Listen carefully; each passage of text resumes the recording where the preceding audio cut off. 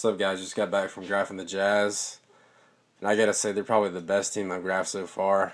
Um, I would have done a lot better if I went to the game, I guess, but either way, um, I was go ahead and show you what I got. I got one of two from Kanter.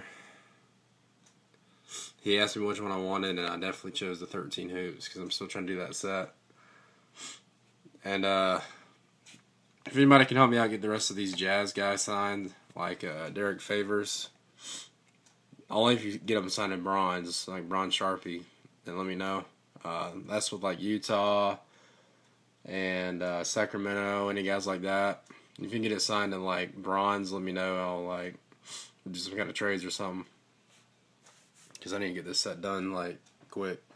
Anyway, um, I could have got Alec Burks, but I don't know. Uh, somebody else was coming out at the same time, and the first guy I called over, and I didn't have time to get him, so whatever.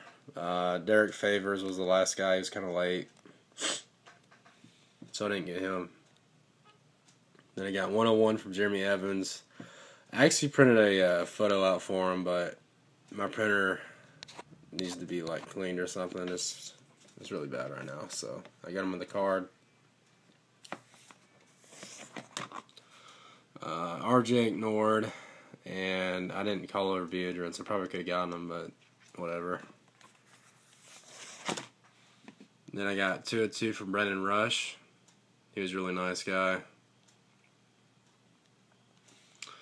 Uh, I don't think I saw Gobert. I mean, I might have. He might have slipped through, but either way, if you guys can help me with him too, let me know. Like any like these unsigned ones um, in the Utah set if anybody's gonna graph them with with bronze though. I mean, I only want bronze really, but I mean it doesn't really matter. But I, for the set, I mainly need bronze. Know I've got a couple in black already from Hawks, and I want KD, but either way, um, I got two of two from Trey Burke.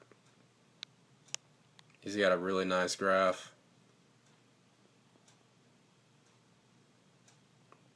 The T's not really finished on that one though. He kind of kind of rushed through it, but that one turned out really good.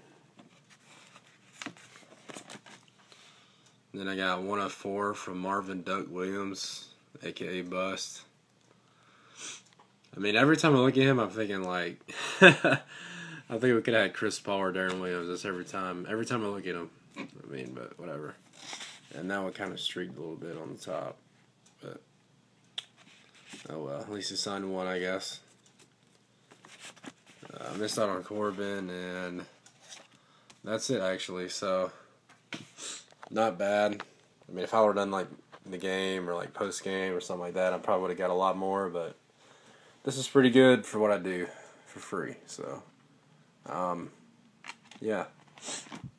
Anyways, thanks for watching. Uh, like I said, if you guys can help me out, get any of these like 2013 hoops signed, or you already have some signed and preferably bronze, uh, let me know some of these teams uh, that I've graphed already that's not coming back that uh, I didn't get. I like to go and try to.